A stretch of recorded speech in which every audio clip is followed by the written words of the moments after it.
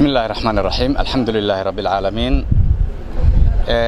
ilaahay baa mahad iska leh. Maantay halkan isugu kaaya keenay. Annagoo hal qabiilo ah hal maamul ah galmudug iyo puntland aanu ku dhannahay goobtan. Taliyayaashayadii labada dhinacba ay dhinacyada naga taagan yihiin. Wasiirkii amniga galmudugna uu dhinacayga taagan yahay. Waxaan aad ugu faraxsanahay runtii. Howlgallada asbuucii la soo dhaafay iyo asbuucan gudihiisa hadda ka socda magaalada gaalkacyo nimankii afduubka ahaa ama ashahadala dirirka ahaa ee dadka islaamka dhibay dhabarka ka jabiyey.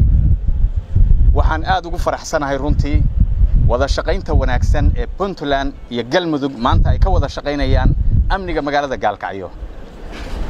Gaalkacyo ma aha meel ma garanaysaa ii sheeg. Laba maamul ay ka wada taliyaan. Waa isku hal maamul galmudug iyo puntland. Waa hal maamul weeye.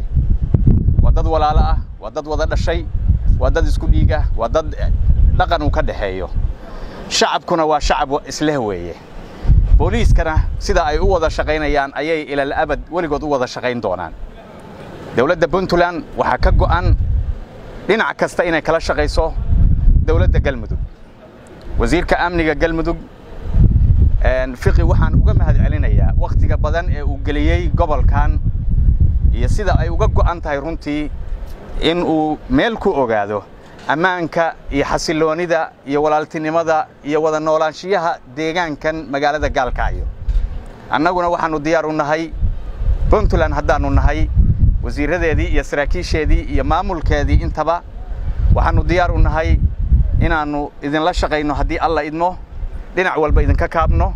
Dowladda puntlandna way ka go'an tahay. Dowladda galmudug inay la shaqayso dhinac kasta oo lagala dagaalamaya nimankaas ashahadala dirirka ah. Waxaan diyaar u nahay haddii alla idmo xoraynta dhulka maqan ama galmudug ka maqan ama dhinac kasta ka maqan geyiga soomaaliyeeda inta laga sifaynaya dhulkaas inaannu garab istaagno haddii alla yidhaahdo waxaan bogaadinayaa saraakiisha dhinacayga taagan oo hari iyo hameenba u taagan ka shaqaynta iyo xasilinta amniga gobolkan.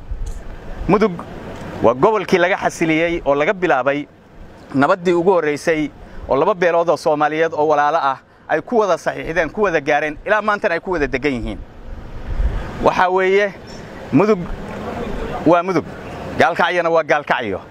Maamulladuna waa walaalo waana mataano. Wada shaqaynta iyo walaaltinimada dhinac kasta ah. Way ka wada shaqaynayaan amnigooda waxay ka wada shaqaynayaan horumarkooda waxay ka wada shaqaynayaan ganacsigooda waxay fiirsanayaan danahooda waxay ka wada shaqaynayaan geyigan aan hadda aynu joogno oo dhan. Wax kasta oo amnigiisa iyo istiqraarkiisa iyo kala dambayntiisa uu ku soo noqonayo in ay isgarab qabsadaan haddii alla yidhaahdo runtii galmudug aad baan u bogaadinayaa. Madaxweynaha galmudug oo gaalkacyo hadda jooga wasiirradii kabinetkii oo dhan oo ku dhan magaalada gaalkacyo sida ay uga go'an tahay inay magaaladan ka dhigaan magaalo xasiloon magaalo aan laga faa'iidaysan labada maamul dhexdooda. Awal inta laga faa'iidaysan jiray intaasay ahayd. Arrintaasi way baxday.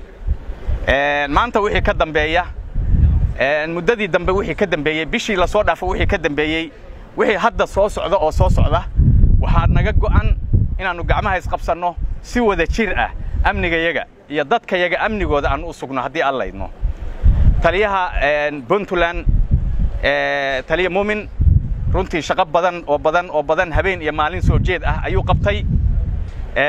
Arrinkanna waxaa weeye puntland waxay u soo xushay shaksi ka bixi kara weeye. Waxaan rajaynayaa insha allahu tacaala haddii alla idmo si hufnaana wada jir ah walaalnimo ah inaynu cadowga uga wada hortagno haddii alla yidhaahdo wabilahi towfiiq asalaamu calaykum